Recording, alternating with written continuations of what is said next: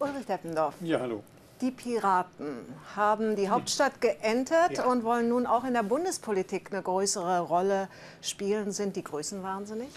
Naja, ein bisschen glaube ich jetzt im Moment schon. Das ist jetzt so eine Welle, äh, eine riesige Erfolgswelle nach Berlin.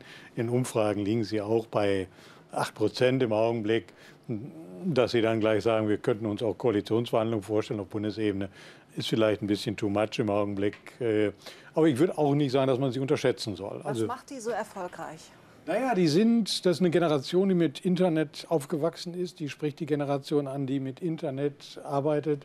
Wir haben jüngere Leute, die sehr stark auf Transparenz äh, setzen, die die Schnauze voll haben, sage ich mal, von äh, Politik im Hinterzimmer, die äh, auf Daten, äh, mehr Daten haben wollen, die mit Facebook kommunizieren, äh, die aber jetzt keine Links- oder Rechtsextreme sind, sondern erstmal fixiert auf dieses ja, Internet, auf Politik transparenter zu machen. Sozialliberale nennen sie sich ja zum Teil. Also da hat eine andere liberale Partei ein bisschen geschlafen. Heute bei der Bundespressekonferenz, die Ja. erste, die die Partei jemals gegeben ja, hat, hat noch ein die bisschen nervös. Ja. Bundesgeschäftsführerin So. Marina Weißband die Bedeutung des Internets und die Rolle der Partei noch mal erklärt. Hören wir mal rein. Ja. Das Internet macht ganz neue Dinge möglich. Wir können jetzt in Echtzeit von überall, von der Regierung direkt Informationen bekommen. Wir können jederzeit selbst am Diskurs teilnehmen. Da haben die anderen geschlafen, oder? Ja, klar, ich meine, das sind äh, jetzt nette Sätze auch, muss man sagen. Also, äh, wenn Sie sagen, Sie können von der Regierung alle Informationen bekommen, so ist es ja nun auch nicht. So soll Da- es aber sein, So soll es nach deren. Sätze sein.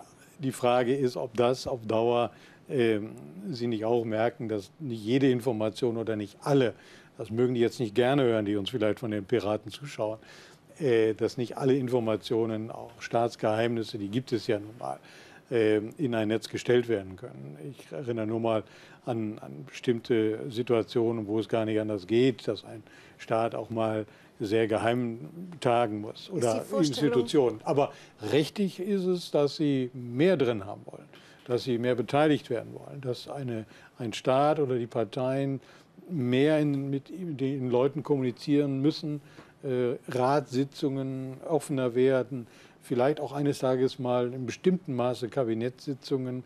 Das kann man nachvollziehen. Das trifft im Moment eine Generation. Ja. Mhm. Ist diese Vorstellung von Transparenz naiv? Schwer zu sagen, also ich glaube, so wie Sie es jetzt sagen, noch eher ja, in dieser absoluten Konsequenz. Ähm, in dem Gedanken dahinter, möglichst viel Transparenz zu haben, glaube ich, äh, ist es nicht mehr so naiv. Ähm, wir belächeln das jetzt vielleicht noch.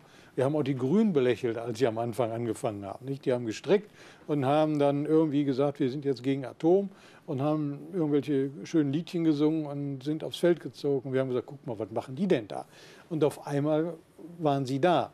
Sie hatten vielleicht eine noch stärkere Grundidee, als die jetzt haben.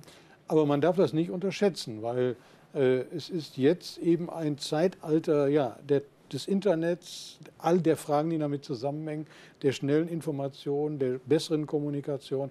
Da gehen die rein. Ob sie bei allem bleiben, was sie jetzt fordern, wage ich mal zu bezweifeln. Auch da haben ja mal die Grünen hier und da auch mal dann ein bisschen zurückgesteckt in ihrem späteren Leben. Nach der Berlin-Wahl, da haben sich zwei Abgeordnete zu Ja. Wort gemeldet. Da konnte man auch denken, vielleicht sind sie ein bisschen naiv. Wir hören mal rein. Ich mache halt ein bisschen Politik und versuche das irgendwie möglichst gut zu machen. Und das kann auch gerne so ein bisschen ähm, Sendung mit der Maus mäßig sein. Also was ist eine kleine Anfrage? Also die Bürger sind ja auch so ein bisschen so, sie blicken nicht mehr richtig durch, die Politik ist abgehoben, Entscheidungsprozesse sind undurchschaubar geworden. Das ist sympathisch, aber reicht das, um Politik Nein, zu das gestalten? reicht sicherlich nicht. Das reicht sicherlich nicht, das wissen die auch. Ähm, das kam ja heute auch ein bisschen mal bei der Pressekonferenz durch. Da sind ja auch ein paar dabei, die schon ein bisschen weiter sind als vielleicht der eine oder andere noch naiv erscheinende.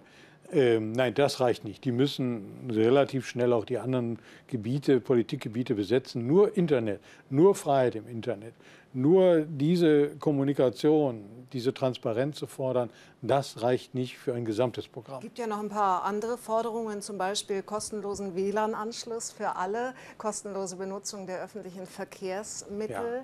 Gut, das haben ja andere Parteien auch schon mal gehabt. Und äh, dann wird man merken, wenn man dann in der Verantwortung mal sein soll, dass alles, äh, manche Blütenträume eben nicht äh, zu bekommen sind. Das heißt, kostenlose Verkehrsmittel, man muss die Steuern erhöhen. Äh, also kann man ja vieles sich ausdenken, wie das finanziert werden soll. Also da werden die noch lernen. Aber ich glaube, die Grundidee, ähm, das sollten alle Parteien, egal ob FDP, SPD, Grüne, nicht unterschätzen. Ähm, hauptsächlich aber Grüne und SPD, FDP.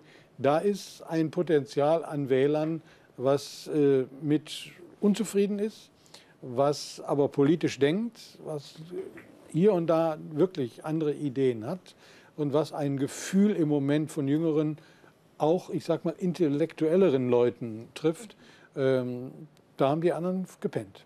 Ihre Prognose zum Schluss, werden die in den Bundestag einziehen bei der nächsten Wahl? Wann immer die sein werden? Also, äh, ich sag mal, das hängt sehr stark davon ab, ob sich die anderen Partei, vor allem die FDP, wiederholt, äh, erholt, nicht wiederholt, erholt. Im Moment würde ich sagen, so wie die drauf sind, mit diesem Rückenwind, halte ich es nicht für ausgeschlossen, dass die mit einem knappen Ergebnis in den Bundestag kommen. Wir werden es beobachten. Jo. Bei Beppendorfs Woche, immer auf 1 Extra aktuell und bei tagesschau.de.